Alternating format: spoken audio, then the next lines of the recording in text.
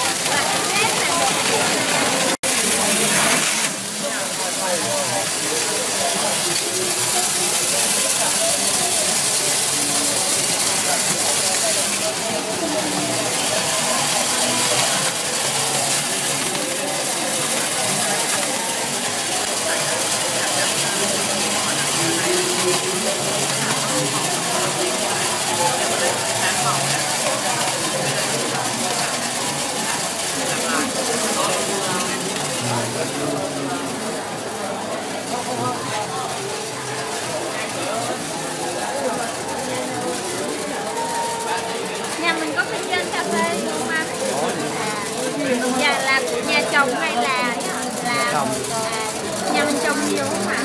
bốn mét Của hết phải một năm cũng phải à, gần 20 tấn. một mét thì bốn tấn bốn nửa đạt bốn tấn. Năm nay không nửa thấy nó lọc hay nè Dạ, mấy trăm mười năm sau mình cái hạt em tại vì năm nay em thấy cà phê dạ rồi. Mưa nhiều nên đen tiền tiền thương họ lọc có được hay rồi ha dạ tại vì nó có camera hai camera một camera trước và camera sau còn à, hai bên có hai đèn led. Bốn là mỗi bên hai cái hai bên là bốn cái. Nó giúp mình nhận diện màu sắc một cách chính xác. Ngoài phân loại cà phê ra thì nó có thể phân loại cho mình tiêu nè điều nè các loại hạt đầu rồi à, gạo nhựa. Đó nguyên cái bảng.